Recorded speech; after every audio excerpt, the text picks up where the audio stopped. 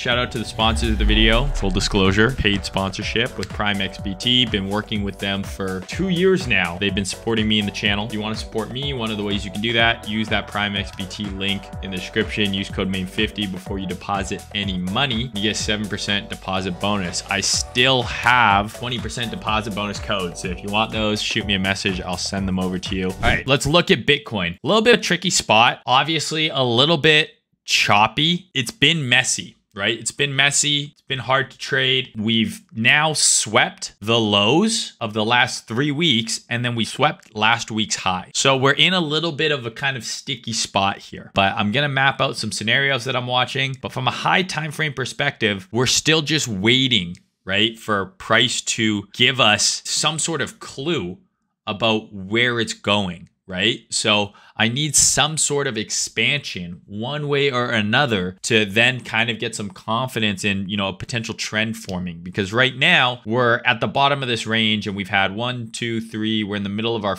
uh, at the beginning of the fourth week of just kind of sideways. Looking at the weekly, there's really not much to update here other than we swept the lows and now we swept last week's high. So, gun to my head, I think the sweeping of the last three weeks' lows is bullish.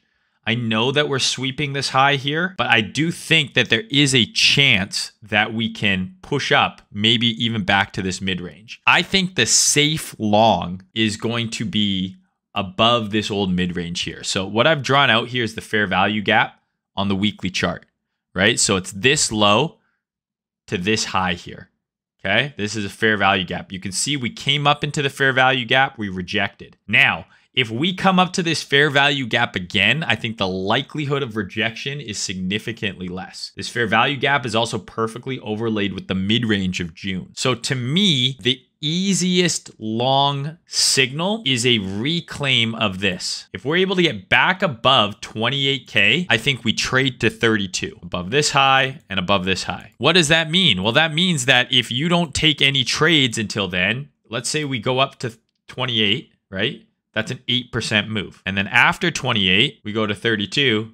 That's a 12% move. So in total, it's a 20% move higher. But if you wait for us to reclaim 28K, you're missing the start of the move. I'm okay with missing the start of the move. I don't need to catch the entire move. I care about catching the meat of the move. So if I have some confidence that if we get back of 20k, 8k, there's a high likelihood we trade to 32. I'm okay not catching the first part of the long and being aggressive once we have that confirmation. So that's kind of the easy long trigger that I see. The second long trigger that I see is going to be a sweep of June's range low, which we almost got, but we effectively have equal lows here now. So these two lows are basically equal. Then we have this low here, okay? And then we have this breaker. I also think that a potential long opportunity would be another flush down into here. And maybe that's something that we buy on strength at that 23K level. So that would be the next area. If we're going to break down lower, 23,300, the middle of this breaker block, is the next area of interest for me. Now, zooming in to kind of the more intraday chart. So, as you can see here, we took out the last three weeks' lows, we pumped back up. And then we swept last week's high. Now we're trading right at this breaker here, right? Because this has become a breaker. And we're finding some support here. So you could argue that if we're not going to sell off lower, this is where price should go up from. So you could find a long here, right? In here, or maybe you have a looser stop, and that could be the trade that takes you into the mid range. Something in this area, basically saying, okay, this is going to be support now, and I want to see price trade higher. You could take, if you have an aggressive stop, you could take a more conservative target of 27K. And this is absolutely a trade that I see the logic of. 12 hour breaker. This is the up candle that took out all those old lows. We shifted to the upside. We broke market structure. Now we're retesting. So I absolutely could see this being the area where price holds and then pushes higher. So that's what I'm going to be watching here over the next little bit. But for now, I don't have a very clear signal. To be honest with you, I'm probably going to let CPI play out before I decide to take any trades here. And we could see a lot happen tomorrow. And then we have interest rates on Thursday. So we could see some fuckery. We could see this move fully retrace. Lots of shit can happen. But for now, to me, this is an area where if price wants to trade to 27K, potentially higher, this down move should sustain and this should be the low, right? So it should retrace into here and it should not breach this low if we're going to go higher towards 28K. So that's kind of what I'm watching right now on Bitcoin. I want to see what happens tomorrow. Maybe we dip a little bit deeper into here, and that is a long opportunity that I potentially would be interested in taking. We get some sort of bullish price action in here, or if we even just get a deeper pullback. So within this move here, right, if I zoom in, I would like to see within this price leg here, right? We have a very clear fair value gap right here. And if you put on your regular fib, right, your sweet spot is right in there. So something I could see potentially happen in CPI here, right, is a move down into here quickly and then a move up. But if you're bullish on Bitcoin, right, and you think we're going to go higher, you think that 28K is more likely than 23K, I would want to see this down move be the low and this breakup, we're looking for a retest here in this area from here down in like here. I want to see that hold, and uh, I would be interested in potentially taking along there. Effectively, this is the range. Any sort of move below the mid range, I would want to see get bought up quickly. Target here, target two would be here. Target three would be the high time frame mid range. That would be kind of the long scenario that I could see play out. Perhaps we get a bit of a pop up first, and then it happens but that's the bull case, in my opinion. If this thing is going to go back towards 28K before going lower, and we're not going to take out this low or any of those other lows I mentioned, this needs to hold. And whatever this pullback is in process here needs to be capped no lower than, in my opinion, around the OTE of this swing. So I wouldn't really want to see price trading if I'm a bull below 25 400 let's say around the OTE here and any sort of move down into here I want to see the bulls step in. So if we come down here, I want to see bullish price action here. I want to see the bulls step in. I want to see a sweep of a low and then a move up on the lower time frames, right? I want to see, right, this kind of shit happen in here. And then that would be a long I'd be interested in taking up into here and then up into 27 and potentially higher. But for now, it feels like uh, I'm forcing it. I think there's cleaner markets to look at as opposed to Bitcoin right now because it's just a little bit choppy. It's a little bit of a choppy mess. So I'm just I'm just hoping to get something that's a little bit cleaner, a little bit more easy to trade.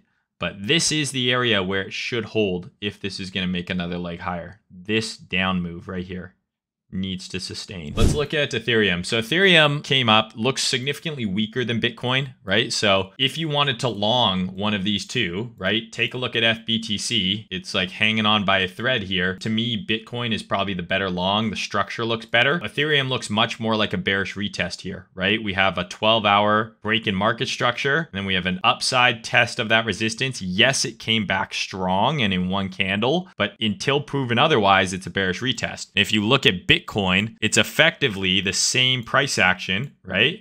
Except for Bitcoin is doing this right now, right? Where Ethereum is just testing the underside. Bitcoin is broken through that level and is retesting the top side. So Bitcoin, if you're wanting to long one of the two of these, Bitcoin looks stronger to me just based on the chart. And that's exemplified, exemplified in Ethereum BTC, just kind of looking fucking, you know, weak right now. Um, I still think this is an area where could potentially form a bottom, but it is it is looking relatively weak. So keep that in mind. But Ethereum, I I, I don't think you want to long this thing right now. If anything, you know, shorting the bearish retest seems to make more sense if it reclaims this 12 hour order block here. So this is um, you know basically 1630. Then you could make an argument to long this thing towards the upper parts of the range. But for now, this looks like a bearish retest. Bitcoin seems much more attractive if you're looking for a coin to long out of the two. Okay, so quick look at the dollar here. I'm still bullish on the dollar. Um, I still think the dollar trades higher. I was hoping it would come down and test this order block here, but it might not. It might just go up from here. Uh, and if that's the case, that's okay. But I'm still bullish on the dollar. I still think we trade to 105, 106. And um, if you're looking at the dollar on the high time frames here, to me, like let's say you're if you're a diagonal line trader, has this not already broken out of this downtrend line, right? So maybe we get some sort of retest, but it looks like it's breaking out there. For me, I like horizontal levels more. But that being said, we're getting very close to a super key area. If we break out above here, I think we fill in this fair value gap here on the weekly. So if we get a convincing breakout above 105, 106, I think this can trade to 107 up to 110. So if that happens, let's assume that dollar does this. Bitcoin's going to do this.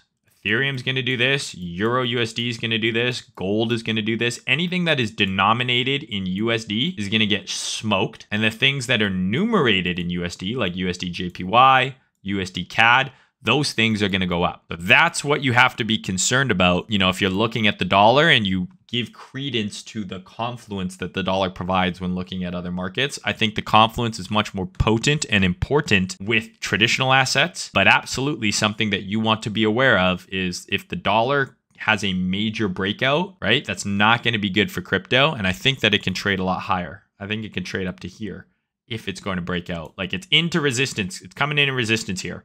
So for crypto's sake, you want this resistance to fucking hold. So if you look at something like UJ, right? Like the whoever someone was saying, "Hey, look at UJ. It looks like it's gearing up for a huge breakout." Look at the monthly here on UJ. Does this not look like it wants to break out higher? To me it does. Like it's either this is the lower high right fucking here or this is going way higher.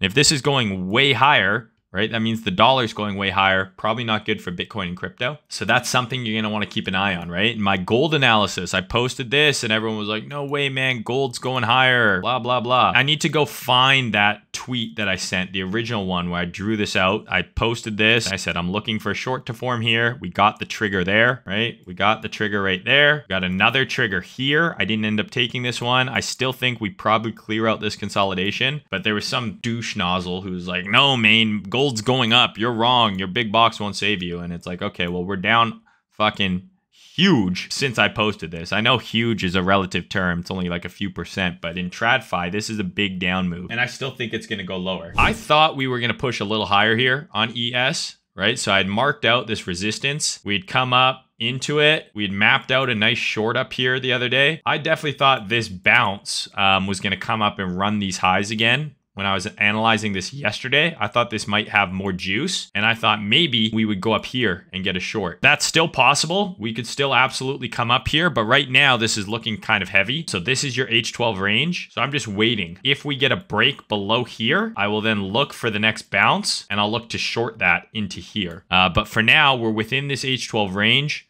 I'm not short from up here. And I did not short this yesterday or this morning, whenever this was. So I don't have a position right now. I need to wait and see which way the market is going to break. If we break below here and make a new low, I'll look to sell the next bounce into here, but I'm not counting out the potential of another move up. And then if we fade up here, that is a short I'd be interested in taking. A little crazy out there, isn't it? A little fucking nuts out. I don't care. It has nothing to do with me. Why is it my responsibility to fucking go and say, oh, that's bad? I'm not the fucking police. I fucking got you. You shouldn't do that. I'm better than you. Like, I don't give a fuck. I don't fucking know, nor do I care. I'm back on Friend Tech, baby. I tried to fade it, but they won't let me. Buy my fucking Friend Tech, guys. Quit LARPing. How about you shut the fuck up? If you don't want to listen, fuck off. I don't give a fuck. Nobody cares about your opinion. I don't really know enough to have an opinion. At this point, I think I just watched due to how attractive I found Mayne. Thank you, Jim likes dogs. I don't know how to take that. How about you shut the fuck up? Canada's a fucking shithole these days. Link Marine says Canadian dollars monopoly money coming from the guy who's called a Link Marine. It's not my job to protect you from doing anything. That's your job. And it's not my job to tell you what to fucking do. If you do both, how do you determine which one? It's a combination, like that new Drake song. Combination. like, what the fuck?